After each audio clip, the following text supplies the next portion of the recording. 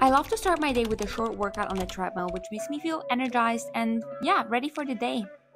After my workout, I went to a gym wear shooting, which is so cool. Today I'm at a shooting for a gym wear brand. Look at the cute stuff. Oh my god, I love it.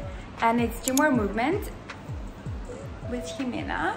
Hello. We're shooting different outfits and kind of different style videos, also some yoga poses. And this is what a behind the scenes gym wear shooting looks like. It was such a mess. She got so many different colors and so many different styles, but it was definitely a gym wear dream. And this camouflage leggings was one of my favorite pieces. We took a short break and we ordered these acai bowls. It was a very hot day and they were the perfect refreshment. I love that there was so much peanut butter in it. I love this color combo. It's a blue top and a white skirt, and I love that there are pants underneath the skirt. Makes you feel super comfortable during the workout. The next outfit was a white top and a black leggings. I think this was my favorite top because it was really unique with this triangle crop. Also, the fabric is super comfortable to wear. Go. On to the next one. This is a pastel lilac and I really love it. And it's matching with hers. Look at this. That's pretty, that's gonna be cute, right? Yeah, I think it's gonna be cute together. Right? Together it's cute. This was the second last outfit, a greenish combination of long leggings and a short top. Super nice. Here I wanted to say that we're going to shoot some yoga poses in that. And this was the last outfit. Oh, and she's, oh, she's in color. Woo! We're super colorful. Actually, this is kind of cute together. Yeah, totally.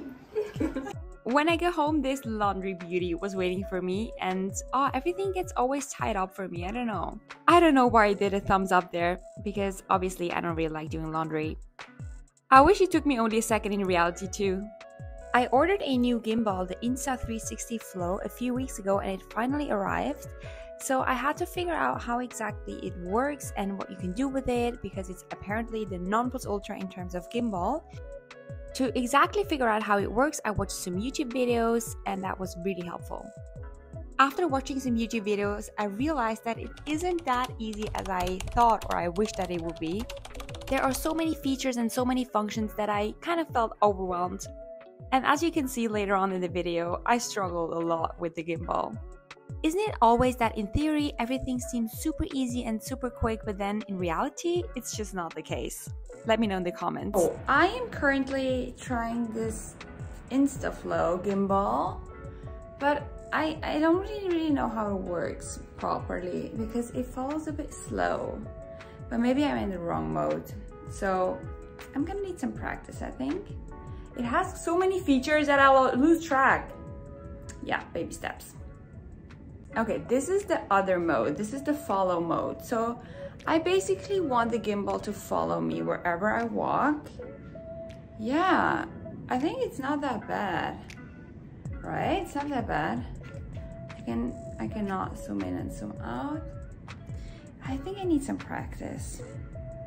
But what we're actually doing now is I need to go to the tailor. My mom sent me a such a cute dress, but it's a bit too long, so I want to shorten it a bit. Um, that's what we're gonna do, and I will take you along with me with my new gimbal. I hope I can shoot some footage without losing track. Okay, let's see how it goes.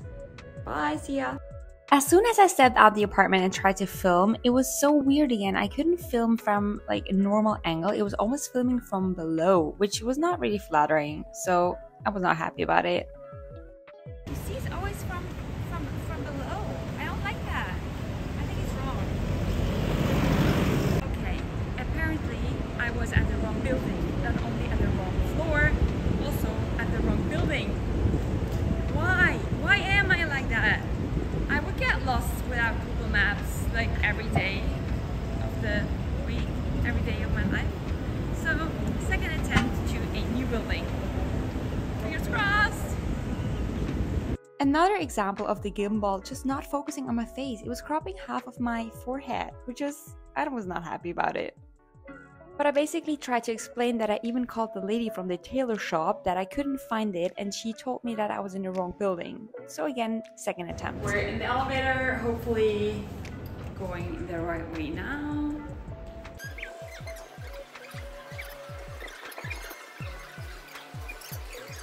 I made it!